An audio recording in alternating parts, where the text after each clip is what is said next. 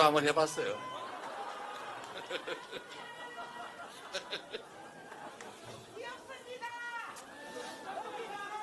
아, 안 됩니다. 그거, 그, 그냥 어쩌다 실수로. 네, 여러분, 어, 너무 반갑고요. 어, 제가 정말 들어올 때보다 어, 더 많은 분들이 오셔가지고 저 뒤에 많이 서 계시군요. 음. 아, 자, 여- 원래 예정 시간은 8시까지인데 너무 짧죠? 네. 기차를 잡아주시면 제가 좀 더 있도록 하겠습니다. 네. 네. 그래서 오늘은 제가 여러 여기저기서 목소리 높여서 얘기도 많이 했고 또 어, 제가 말씀드리기 전에 또 여러분들 어, 규탄의 말씀을 많이 들었기 때문에 우리 오늘은 정말로 우리가 길게 멀리 넓게 보고 우리가 같이 가야 될 길을 한번 얘기해 보도록 하겠습니다. 아, 저는 사실 정당이라고 하는 것이 국민의 뜻을 대신하는 그리고 국민으로부터 권력을 위임받아서 누가 더 국민들을 위해서 더 일을 잘하나를 경쟁하는 정치 집단이라고 생각합니다. 아, 그리고 본질은 아, 전쟁이죠. 과거에는 국가 권력을 놓고 어, 총칼로 서로 싸웠지만 이제는 표로 싸우는 어, 서로 설득하고 누가 더 국민의 지지를 많이 받나 이런 걸로 결판을 내서 국가의 권력을 위임받아서 대신 행사하는 어, 그런 과정이라고 생각합니다. 아, 그래서 여러분 음, 최근에 이런저런 얘기가 많지만 우리 서영교 최고위원님 말씀하시는 것처럼 어, 당 지지율도 많이 올랐지만 그게 뭐 일시적인 현상일 가능성이 저는 많다고 생각해요. 어, 지지율이라고 하는 것은 물결 같은 거죠. 어, 물결 같은 것이고 그거는 바람이 불면 크게 일렁였다가 또 내려갔다가 하는 것이고 그 저변에 흐르는 큰 흐름 같은 게 있습니다. 그 흐름은 잘 바뀌지 않죠. 그 흐름의 본질은 결국 얼마나 국가와 국민들의 마음을 잘 읽고 존중하고 따르느냐에 달려있다고 생각합니다. 잠시 국민을 속일 수는 있어도 영원히 국민들을 속일 수는 없습니다.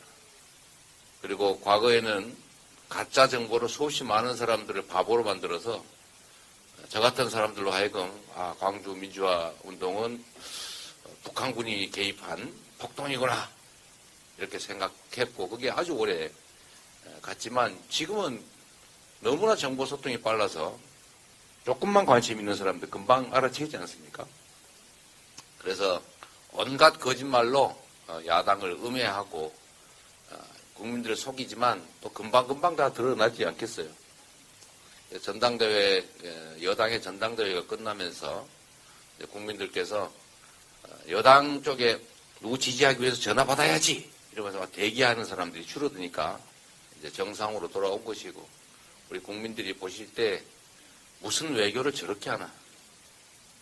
개인에게도 자존심이라고 하는 게 있는데 국가 자존심을 저렇게 우리 국민들의 자존감을 저렇게 훼손하나? 나라 경제는 왜 이렇게 어려워지나? 중국한테는 제재당하고 일본한테 무시당하고 미국에는 뒤통수 맞고 도대체 외교는 도대체, 도대체 어떻게 돼가는 것이냐. 또 한반도에 언제 전, 전쟁이 벌어질지 국지전이 터질지 알 수 없는 이런 상황이 자꾸 계속되니까 평화는 어디 가고 왜 이렇게 불안하냐. 이런 생각들이 결국은 여론조사에 반영이 되지 않겠습니까? 그리고 우리 국민들은 평화롭고 자유롭고 공정하고 미래가 있는 희망이 있는 삶을 원하는 것 아니겠습니까? 우리 민주당이 그 길을 같이 만들어 가야 되겠죠? 여러분들이 함께 해주시겠죠? 저도 여러분 열심히 뒤따라 가도록 하겠습니다. 그리고 오늘 이상은 우리 울산 유일한 국회의원께서 저 한 말씀 하시라고 했더니 굳이 안 하시겠다고 네.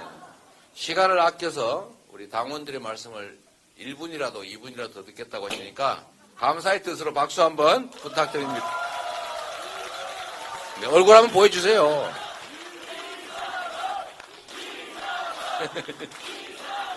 네. 우리 경상도 지역에는 집안 많이 따지죠? 네, 저희 집안 어른이십니다. 경주이가, 네, 경주이가의 할아버지 뻘 되시는 어른이셔서 제가 잘 모셔야 되기도 합니다. 공적 공간에서 사적인 얘기를 해서 미안합니다. 네. 자, 이제 짧은 시간이지만 우리 마이크 가지고 있으니까 여러분 하시고 싶은 말씀도 좀 하시고 아까 보니까 미리 준비하신 분들이 있으시지만 어, 네, 그냥 오셨는데 이 얘기는 꼭 하자라고 하시는 분 어, 말씀할 기회를 드리고 저도 간단하게 코멘트를 붙여드리도록 하겠습니다. 그런데 가능하면 개인적인 이야기 이런 거 좀 말고 우리 모두에 관한 이야기 네, 그런 거 하시면 좋겠습니다. 자 마이크 드신 분이 왼쪽 한 번, 오른쪽 한 번, 뒤에 한 번, 아- 아- 앞쪽 한 번, 여성 한 번, 남성 한 번, 젊은 사람 한 번, 나이 드신 분 한 번, 이런 식으로 마음대로 어, 정해 주시기 바랍니다. 왼쪽부터 하겠습니다. 저, 저, 안녕하세요. 저는 남구 사는 당원이고요.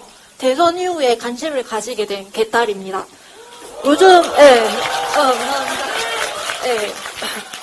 요즘 또래 당원들에게 물어보면 개딸 악마에 대해서 불만이 꽤 많아 보여요. 그리고 하지도 않은 거를 개딸이 했다니, 뭐, 나이 지긋한 어르신들을 보고 개딸의 실체다. 예, 물론 조중동의 그 민주당 오염에 대한 그 공격이라고 생각은 하지만 예, 의원님들 대다수가 다 민생이나 정책안에 대해서 늘 고생하시고 예, 감사하게 생각합니다. 예, 박수 한번 주세요. 이렇게. 예. 그런데 그 일부 의원님들 중에서 뭐 팬덤 정치니 개딸이 폭력적이다. 그라는 말이 근본적으로 언론에 자기 이름 하나 그 등록하려고 그 이기심 때문에 당원을 예, 존중하지 못하고 무시하는 태도라 생각해서 또 어린 여성 당원들을 좀 혐오하는 그런 거라고 생각을 해가지고 예, 그래서 민주당이 페미니즘 정책이나 그 여성에 대해 좋은 의견을 주려고 해도 다른 의원님들이 예, 말을 이상하게 한 게 언론에서 더 강조가 되니까 이게 잘 주목이 안 된다 생각해요. 예, 그래서 네. 음, 예.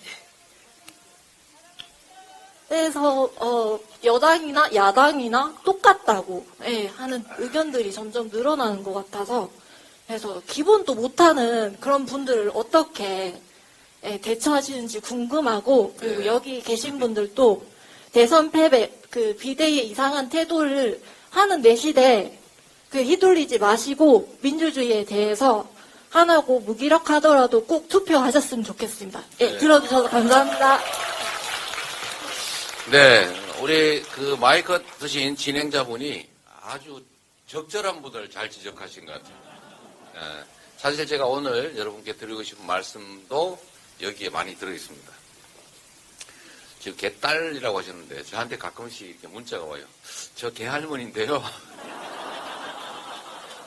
저 우리 대표님보다 일곱 살 많은 개딸입니다. 네, 이게 알려진 거와 다르게 에, 실제 연령대나 이런 게 에, 나이 젊은 이런 여성 이렇게 표현되는 건 사실이 아닙니다. 그렇죠? 어, 저는 어떤 단어들이 자꾸 이렇게 오염돼 가는 걸 느끼는데 과거 한때 무슨 양 이렇게 부르는 거는 어, 우리 근대화 시기에는 최고의 존칭이었습니다. 양가집 교수를 무슨 양 이렇게 불렀죠. 이거를 다른 사람들이 어 멋있는 호칭이네 이렇게 막 쓰다 보니까 오염이 돼서 마치 이 하대하는 것처럼 이렇게 들렸죠. 그러다 어느 날 서양 문물이 들어오면서 미스 어, 김뭐 미스 박 이런 게 어 멋있다. 에? 그러다가 이게 또 어, 다르게 쓰여지면서 그 말을 요새는 안 쓰죠 그 언어를 그러다가 요새는 무슨 시 이렇게 보통 부릅니다 이름을 부르죠. 이 언어라고 하는 게 어, 시간이 지나면 오염이 되는데 그 중에 또 하나 대표적인 게 어버이라는 말이 있습니다 어버이. 어버이 은혜. 하면 가슴 먹먹하시죠? 어버이 연합하면 어떻습니까? 아, 그래서 여러분의 머릿속에 어버이라는 단어가 이게 말인 의미가 나쁜 의미인가가 지금 확 헷갈리게 돼서 요새 잘 안 쓰십니다. 예. 이 개딸이라고 하는 것도 사실은 그렇죠. 개혁의 딸, 그리고 뭐 1987에 나오던 정말 개구진, 그러나 정말 사랑스러운 딸, 이런 의미로 썼던 단어잖아요. 그래서 그 좋은 뜻으로 시작했는데 요즘은 혐오 단어로 슬슬 바꿔 가고 있는 중입니다. 아마 진짜 억울하실 거예요. 우리도 연구를 해가지고 좀 바꾸면 어떨까 싶은 생각이 듭니다. 예. 이게 지금 너무 많이 오염이 됐어요. 응. 예? 잼딸 안 됩니다. 어, 그래서 누가 그러더라. 깨딸 하자, 깨딸. 그럼 왜 딸만 합니까? 어, 이 남자들도 많은데. 그리고 딸 하면은 우리 엄마 뻘 되는 사람 어떡할 거예요? 예. 하여튼 연구를 한번 해보면 좋겠다는 생각이 들고요. 아, 그리고 또 한 가지. 예, 이건 농담에 가깝고 진짜 중요한 건 그거죠. 우리는 이겨야 됩니다. 그리고 부당하게 이기는 것이 아니라 정당하게 이겨서 이 나라의 미래를 개척해 가야죠. 국민들의 더 나은 삶을 만들고 한반도를 평화롭게 만들어서 다시는 전쟁으로 수없이 많은 사람이 죽어가는 일을 막아야 되고 그리고 국가의 자원과 기회들이 정말 온 국민에게 공평하게 공평하게 배분돼서 자원과 기회가 효율을 발휘해서 정말로 전 세계로부터 인정받는 나라로 만들어가는 것. 우리 국민들이 내 자녀들은 지금보다는 나보다는 훨씬 더 나은 삶을 살 것이다 믿어지고 아이를 낳지 말라는 줄 마구 낳고 그런 세상 만들어야 되지 않겠습니까? 네. 어, 그렇게 하려면 힘을 모아야 됩니다. 아까 누가 말씀하신 것처럼 돈 많은 사람들한테 세금 깎아주고 돈 없는 사람들 직원 예산 줄이고 소주 맥주 세금은 막 올리면서도 대기업에서 세금 팍팍 깎아주는 이 이상하지 않습니까? 이러지 않는 정상적인 사회를 만들려면 우리가 경쟁에서 어, 이겨야 되고 경쟁에서 이기기 위해서는 우리가 힘을 합쳐야 됩니다. 어, 여러분 그거 아세요? 헤어지면 친구가 더 밉다고. 지나가는 사람들은 잘 안 미워요. 그런데 한번 관계를 맺었다가 다른 관계가 되면 더 미워지죠. 그래서 우리 안에 어, 부족한 점이 내가 봐 내 기준으로 부족한 점, 나와 다른 점들이 발견이 되면 나와 관계없는 또는 나와 경쟁하는 상대인 경우보다 훨씬 더 감정이 악화됩니다. 근데 그걸 감정을 있는 대로 표출하고 다른 점을 자꾸 찾아내고 좋은 점보다 나쁜 점을 자꾸 보기 시작하면 균열이 점점 심해집니다. 그리고 나중에 그게 갈등이 격화되면 서로 내부에서 싸움질을 하게 되죠. 갈등, 균열이 격화됩니다. 근데 이게 비용이 너무 많이 들어요. 과거로, 과거부터 그랬습니다. 전쟁에 이기는 기술이 여러 가지가 있는데 그 중에 제일 싸고 제일 효과적인 게 이간질입니다. 간첩 심는 거예요, 간첩. 아내가 가지고 이 사람한테 서영교 최고한테 박찬대가 요러요러더라. 그 박찬, 최고한테 서영교 최고가 이러이러더라. 이 검찰이 범죄를 저지른 사람들 에, 이간질 시켜가지고 자백받는 것과 똑같습니다. 자꾸 이렇게, 이렇게 가짜게 해서 결국은 없는 것도 지어낸 상태까지 얼마든지 만들어낼 수 있는 거죠. 그래서 이 이간질을 정말로 조심해야 돼요. 우리 안에 차이가 있더라도 이겨내야 될 상대와의 차이만큼 크지 않다. 미워도 그래도 식구입니다. 네. 똑같은 그렇지요. 예, 뭐 누구든 다 노력해야죠. 왜 나만 갖고 그래? 억울할 수도 있, 지만 그러나 그건 무의미한 일입니다. 어, 부부의 관계가 점점 나빠질 경우에 네가 그랬으니까 나도 이렇게 하면 문제가 해결되질 않아요. 나부터 그리고 조금 참아줘야죠. 그래서 예수님이 하신 말씀 우리 다 하진 못하지만 왼뺨을 맞으면 너, 어 너도 한 대 맞아라 이러면 끝이 없죠. 오른뺨 내놓아야 그래야 계산의 기회가 생긴다. 그래서 어려운 겁니다. 성질대로 화나는 대로 다 하면서 내 내가 하고 싶은 일다할 수 있으면 그런 좋은 세상 어디 있어요? 그런 걸 뭐라고 그래요? 천국이라고 합니다. 내 뜻대로 다 하면서 내가 원하는 걸 다 해낼 수 있는 거. 그런 게 세상에 어디 있어요? 그래서 이걸 얼마나 잘하느냐가 승패를 가릅니다. 견뎌내고 이해하고 수용하고 마음에 안 들어도 같이 손 꼭 잡고 갈 수 있는 거. 그래야 우리가 안에서 싸워가지고 의견 다르고 나한테 어떻게 했다고 해서 미운 사람 제압하면 뭐 할 겁니까? 더 큰 상대가 더 큰 압력을 행사해 올 텐데. 그래서 깨어있는 분들이 앞서줘야 된다는 생각합니다. 아까 우리 말씀하신 남구 당원분 그 말씀 있죠. 우리가 안 했는데 자꾸 우리한테 왜 그러세요? 제가 아는 선량한 합리적인 우리 민주당 당원들은 욕하고 이런 협박하고 이런 문자 보내지 않습니다. 그렇죠? 그 정도는 알죠. 어, 상대 누군가에게 욕설을 하거나 이런 폭력적 행동을 하면 그 사람이 좋아하겠습니까? 관계가 더 멀어지겠죠. 어, 이재명 대표의 입장이 이재명 지지자라고 보이는 사람이 그런 행동을 하면 이재명의 입장이 더 난처해지겠죠. 그런데 진짜 지지자가 이런 걸 하겠냐? 저는 혹시 모르죠. 어제 제가 울산 온다니까 지금 여기 혹시 오셨는지 모르겠는데 너 오면 나 죽는다. 너 오지 마. 그래가지고 어제 하루 종일 문자 보내는 분이 있었는데 여기 안 계시죠? 7448? 설마 없, 없, 겠죠 음. 아, 그런 분도 가끔씩은 있지만 대체적으로는 아니다. 그러면 대체 누가 그러느냐?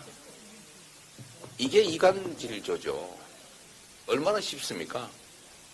실제로 찾아보고 그걸 뒤져보면 우리 지지층이 아닌 경우가 꽤 많이 발견됩니다. 네. 그래서 오히려 이런 경우는 신고해 주는 게 맞죠. 네. 그래서 억울한 건 있지만 노력해야지 어떡하겠습니까? 그게 세상인 것을. 그래야 되겠죠? 우리 힘을 합쳐서 이런 균열과 갈등책 넘어가지 말고 우리가 부족하고 섭섭해도 손 꼭 잡고 반드시 꼭 이겨냅시다. 네. 이제 오른쪽에 저도 말 길이를 줄이도록 하겠습니다. 뭐라고요? 제가 그런 얘기 했지 않습니까? 수박 이런 얘기 하지 말자고요. 여러분, 찢! 그러면 좋아요? 듣기 싫지요? 누가 그런 얘기를 하면서 저를 공격을 하면 싫지 않습니까? 그럼 그, 그런 얘기하는 사람들이 지지하는 그 대상 싫어지죠? 결코 도움이 안 됩니다. 아까 말씀드렸잖아요. 그런 식으로 골라내면 결국 나밖에 안 남는다. 네. 그러니까 어, 그런 멸칭 쓰지 마, 마- 언어를 쓰지 말자. 어, 갈등을 격화시키고 이용당하잖아요. 언론에 이용당하고 상대에게 이용당하고 그리고 내부에 안 좋은 뜻을 가진 이들에게 또 이용당하지 않습니까? 결국 누구 손에? 어, 이 입장이라고 하는 게 있는데 만약에 말입니다. 여러분들이 그 전체 집단 내에 소수, 소수다. 그러면 막 반격하고 그래야 되겠죠. 근데 지금 소수 집단이 아니잖아요. 책임져야 되는 입장이 있지 않습니까? 책임이라고 하는 거는 잘했든 못했든 원인이 어디에 있든 누구 잘못이 얼마나 크든 따질 이유가 없이 결과에 대해서 무조건 떠안는 거예요. 그건 지려고 해서 지- 저지는 것도 아니고 피하려고 해도 피해지지 않는 게 바로 책임입니다. 그리고 그래서 책임자인 것이죠. 그래서 노무현 대통령이 하신 말씀이 있지 않습니까? 비가 안 와도 내 책임인 것 같더라. 그래서 옛날에 비가 오면 왕조차도 기우제를 지내면서 길바닥에 누워서 고통을 감내하는 걸 보여줬던 거예요. 그게 책임인 거죠. 그래서 우리가 책임을 져야 될 입장이 있다. 원인을 따지지 말고 네가 먼저 시작했으니까 내가 요건 반드시 갚아주고 세임 세임 한 다음에 다시 얘기하자 이러면 안 된다는 거죠. 네. 빨리 가래요. 네. 지금 8시였는데 5분 초가 네. 지금 마지노선 있습니다. 네. 또그 다음에 이 앞에 어디 마이크 드신 분 마음대로 빨리 주세요. 아까 오른쪽 네. 아무나 마음대로 빨리 하세요. 그 미리 갖다 드리세요. 미리. 그것도 시간이니까. 왼쪽도, 아, 왼쪽 앞에 누구 하나 갖다 드리시죠. 아, 아. 예, 안녕하세요. 이재명 당대표님. 아, 16년부터 지금부터 지금까지 이렇게 또 지지하면서 하니까 또 되게 좀 떨리네요. 예전부터 뭐 언론에서 당대표 이 대표님을 이렇게 또 악마하는 언론들이 너무 많았고 또 지금도 이렇게 또 어떻게든 악마시키려고 그 안달내는 이런 수많은 기자들이 있잖아요. 그런데 당시에도 이 대표님이 말- 주장했던 아리백 그리고 주 4.5일제 이런 것들이 지금도 점점 시간이 지나면서도 전 세계가 실행하면서 옳게 되었잖아요. 이것을 앞으로도 저를 비롯한 여러 사람들이 더 많이 알려줬으면 좋겠어요. 네. 해상 풍력 발전도 그렇고 네, 또 네. 이제 아, 더 생각이 안 네, 나네요. 그러죠. 나중에 네, 생각나면 마저 네. 말씀하시기로 하고. 네. 시간은 이재명의 편입니다. 네. 네. 감사합니다. 훌륭한 얘기죠.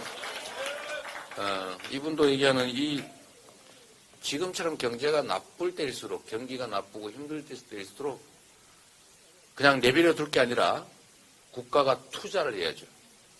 지금 예를 들면 10조 원을 쓰면 나중에 그게 수십조 원이 될 수 있죠. 한겨울에 밀짚 모자를 사야 싸게 좋은 걸 살 수 있습니다. 그죠? 네.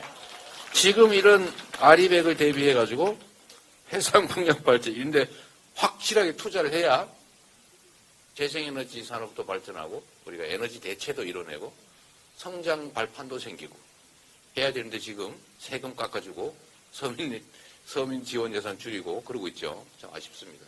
정말 훌륭한 정책이 정책과 같습니다. 네 이쪽에 네. 네 아무나 마이크를 미리 중구. 다운동에 사는 김기용입니다. 제가 이재명 대표 후보 있을 때 선거대책 부위원장 울산에서 맡고 있었습니다. 아 네. 근데 제가. 간다해서 말씀드리고 싶은 것은 민주당이 소통력이 굉장히 부재한다는 겁니다. 네.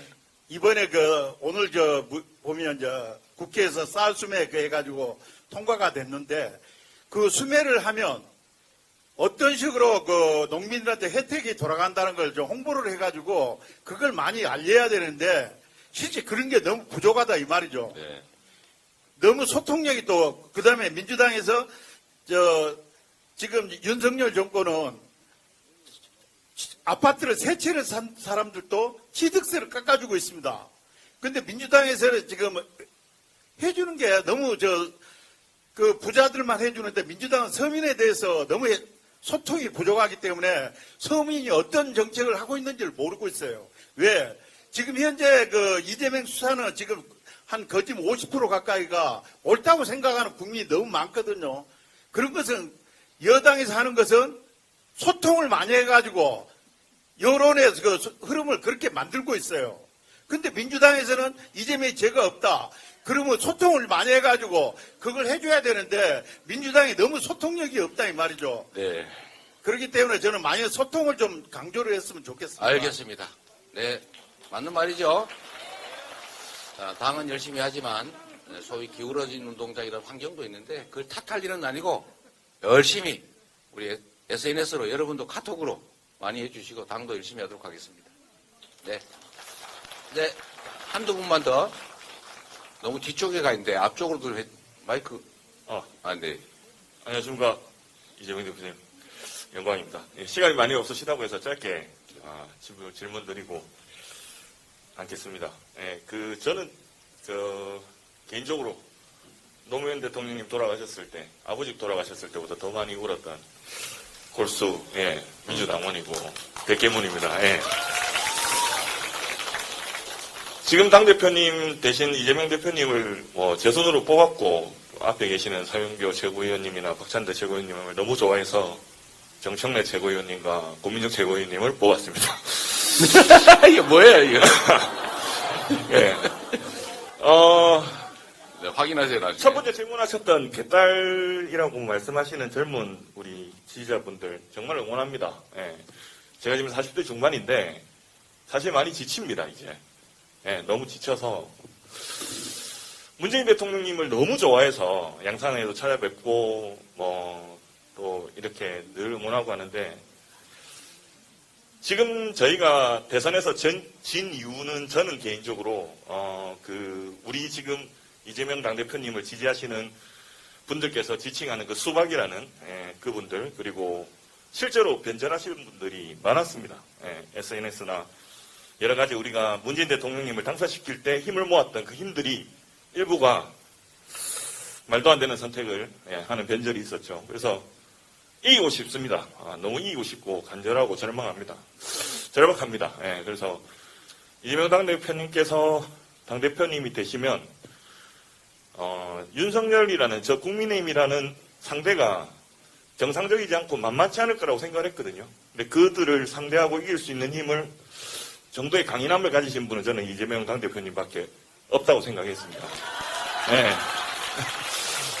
그래서 뭐 수박이라고 지칭되는 그들, 내부에 보이는 분들, 그리고 외부에 계시는 여러 변절한 분들, 어쨌든 다, 당대표님께서 최근에 이제 우리 그 개딸분들의 어떤 뭐 그 뭐 열성, 강성, 이런 어떤 또 프레임 짜기에 대해서 대- 뭐 대표님께서 이렇게 대화하시는 시간도 가져주셨는데, 예. 대표님께서 이제 다음번 우리가 꼭 이기, 이기기 위해서 지금 이렇게 내부적으로 갈라치기, 분열되는 어떤 이런 상황들을 어떤 식으로든 다 안으실 수 있는 그런 방법들을 좀 고민해 주셨으면 좋겠고요. 어, 당부 말씀인데 지금까지는 여러 가지 상황 때문에 조금은 순한 맛으로 민주당을 이끌어 오셨다면 저희도 원합니다. 예, 대기문인 저도 원하고 조용하게 뒤에서 이재명 당 대표님을 지지하는 어, 뭐 강성 지지층들 입장에서 볼 때는 수박처럼 보이는 문재인 대통령님, 노무현 대통령님의 강성 지지자인 저 같은 사람들도 이재명 당대표님을 지지하고 있습니다. 어, 앞으로는 좀더 매운 맛으로 민주당을 이끌어 주시기를 당부드리겠습니다. 고맙습니다. 네. 아, 너무 지친다. 아, 이해되죠? 근데 여러분, 이 싸움에서 이기는 기술에 대해서는 참 많은 그 전략들이 있는데, 저는 그 호지명, 호지민, 에, 이분이 얘기했던 게 참 기억이 남습니다. 상대가 원하는 장소에서 싸우지 마라. 상대가 원하는 시기에 싸우지 마라. 상대가 원하는 방법으로 싸우지 마라.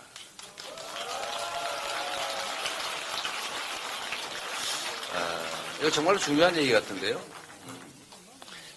지금 저는 정부, 정부 어, 윤석열 정권의 전략은 그런 거라고 생각해요. 정책을 잘하고 열심히 일해서 국민과 국가를 위해서 헌신해가지고 더 좋은 성과를 만들어서 국민에게 인정받자가 아닌 것 같습니다. 죽든 말든 별로 중요하지 않다. 내 권력을 유지하고 확대하는 게 더 중요하다. 잘할 자신은 없는데 깨는 거는 자신 있다.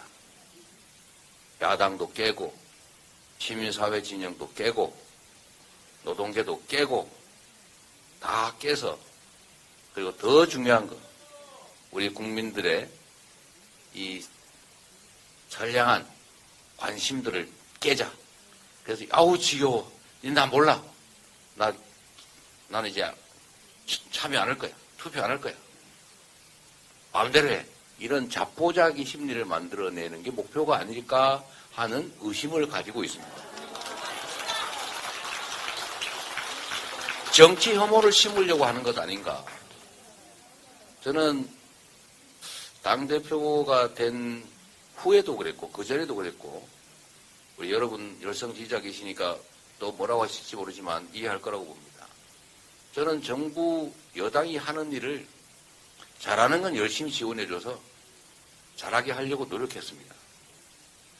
어, 그래서 무조건 반대해야지, 저 반대해야 한- 한다라고 생각하는 사람들에게 어, 야당은 그런 게 아니다. 잘하기 경쟁을 하는 거다. 잘하는 거 칭찬해주자. 이런 생각을 가지고 실제 그러려고 노력했는데, 그런데 정부 여당이 하자는 게 없어요. 하자는 건 없고, 우리가 야당이 하려고 하는 걸 발목을 잡아요. 야당을 견제하는 여당을 처음 봤습니다. 아, 그래서, 어, 제가, 어, 좀 이상하다라는 생각을 했지만, 그 후에도 보니까, 결국은 주력하는 국가 권력, 국가 역량을 주로는 어, 야당 파괴 또는 어, 권력 유지 이런 데 더 비중을 높이 두는 것 같더라 라는 그런 판단을 하게 됐어요. 지금이라도 제자리로 돌아가길 진심으로 바랍니다. 왜냐하면 그게 우리 국민에게 국가에게 불행을 불러오니까요. 제가 윤석열 대통령과 윤석열 정부의 성공을 원한다고 말했고 실제로 지금도 그렇습니다. 그렇게 되면 좋겠어요. 왜냐하면 그 성공이란 곧 국가의 성공이고 국민의 성공이니까요. 네. 박수 거예요? 아, 그래서 음, 우리가 이기는 방법은 상대가 원하지 않는 방법으로 해야 된다. 지치기를 바라는 것 같으니까 어떻게 해야 돼요? 지치지 말아야 합니다. 포기하지 말아야 되겠죠? 포기하면 집니다. 투표가 우리 세상에 더 나은 변화를 바라는 사람들이 포기하면 결국 그 자리를 다른 쪽이 메우게 되겠죠. 그래서 어, 이기기 위해서라도 지치지 말자. 지치는 사람들 부축해서 더 힘내서 같이 가자. 이렇게 말씀드리고 싶습니다. 그리고 이기기 위해서는 우리가 힘이 약하기 때문에 정말로 미약한 힘이라도 모아서 함께 가야 합니다. 아쉬우면 아쉬운 대로, 감정이 상하면 상하는 대로, 그래도 같이 가면 따로 싸움질 하는 것보다는 낫다. 그렇죠? 그리고 매운맛으로 하자는 것은 무슨 말씀이신지 알겠는데, 어, 우리 이재명 대표에게 요새 사이다 맛이 많이 빠졌다. 이재명 다음이 사라졌다. 이런 지적을 많이 하지 않습니까? 저도 알아요. 그렇게 돼 가고 있다는 사실을. 어, 그러나 제가 말씀드린 것처럼 우리는 이기기 위해서는 상대가 원치 않는 선택을 해야 되고 그리고 우리 자신이 깨지지 않아야 되고 내년 총선은 반드시 이겨야 한다. 지금도 야권에 야당이 압도적 다수 무기석을 가지고 있는데도 행정 권력, 그 다음에 일부 검찰 권력 악용해가지고 이렇게 나라를 뒤로 퇴행을 시키는데 입법 권력까지 만약에 내주게 되면 그 퇴행의 속도, 강도를 감당을 할 수 없을 겁니다. 그래서 반드시 우리가 이겨야 되는데 이기는 길에는 상대가 쓰는 방법, 분열, 갈등을 조장해가지고 우리 힘을 약화시키는 게 이게 저, 저쪽의 주된 전략으로 저는 판단하기 때문에 최대한 힘을 합쳐서 균열 갈등을 줄여서 같이 간다. 그래야 이긴다. 라고 생각합니다. 그리고 그 속에서 우리가 할 수 있는 일들은 해 나가야 되겠죠. 이제 한 분만 얘기하고 이제 그만해야 네, 될것 같아요. 어, 대표님. 안 된대요? 네. 가야 된다는데. 네, 죄송하지만 저희 그 기차 시간이 있어서 기 차를 여러분- 잡아줄 자신 있는 분이 네, 2분 안에 이제 끝내도록 하겠습니다. 네. 마이크 이분한테 빨리 가주세요. 네. 마이크. 네. 자, 질문은 30초. 저는 답은 1분. 네, 반갑습니다. 이재명 대표님. 그리고 함께하는 우리 깨어있는 촛불 행동 민주시민들 여러분이 영웅이십니다. 너무 감사드립니다. 어, 저는 음, 꿈이 있는데요. 지적이고 우아하고 품이 있고 친절하고 간대하고 거기다 돈까지 많은 아름다운 부자가 되는 겁니다. 그래서 이재명 대표님이 꼭 대통령이 되셔야 되거든요. 어, 대표님 그 살아오신 그 이제 가정을 보면 어, 가난하게 살았던 사람들이 부자들을 굉장히 혐오하거든요. 근데 이재명 대표님의 그 정치 의식 수준이 너무 높으신 거예요. 그래서 이런 정치인이 있었나 해서 계속 지지하게 되는데 아까 최덕정 의원님도 왜 이재명 대표님만 좋아하냐고 그렇게 했었는데, 아, 네, 그, 어, 루스벨트를 굉장히 존경하고, 네, 네, 이제 끝내고 저는 가겠습니다.